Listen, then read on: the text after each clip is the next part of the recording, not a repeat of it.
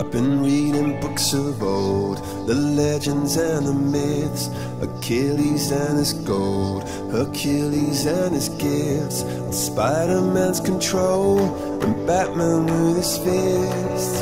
And clearly I don't see myself upon that list But she said, where'd you wanna go? How much you wanna risk? I'm not looking for somebody with some superhuman gifts superhero, some fairy tale bliss.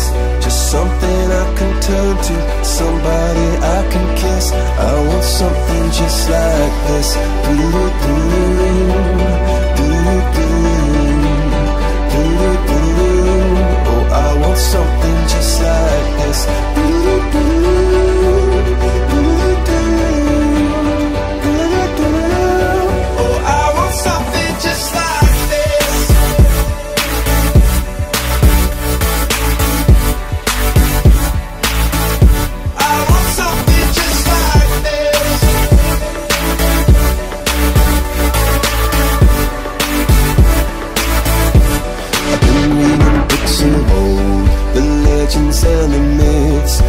testaments they told, the moon